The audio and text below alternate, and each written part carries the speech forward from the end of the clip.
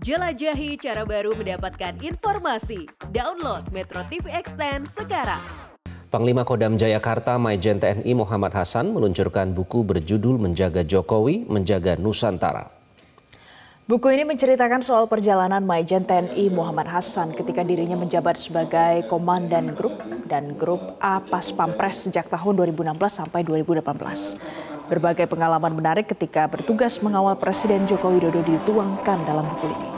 Hasan mengungkap salah satu momen yang paling menarik ketika bertugas mengawal Presiden Joko Widodo adalah saat mengendarai motor trail di Wamena, Papua pada tahun 2017 lalu. Kemudian Hasan menyampaikan buku yang diluncurkannya merupakan catatan yang ditulisnya di sela-sela tugas mengawal Presiden Joko Widodo selama 2016 sampai 2018 ketika menjadi dan grup Apas Pampres. Pangdam Jayakarta ini membutuhkan waktu selama tiga tahun untuk menulis buku ini. Dalam buku ini saya simpan cacat dalam handphone saya karena saya mencatat setiap kegiatan saya pengamanan ke seluruh Indonesia dan ke luar negeri dalam handphone saya mulai dari tangga berapa tempatnya kemudian kegiatannya apa saya catat.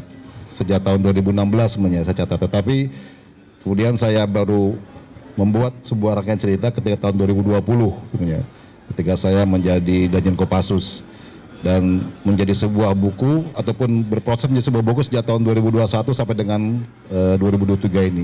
Cara mudah mendapatkan informasi dengan satu sentuhan jari. Download Metro TV Extend.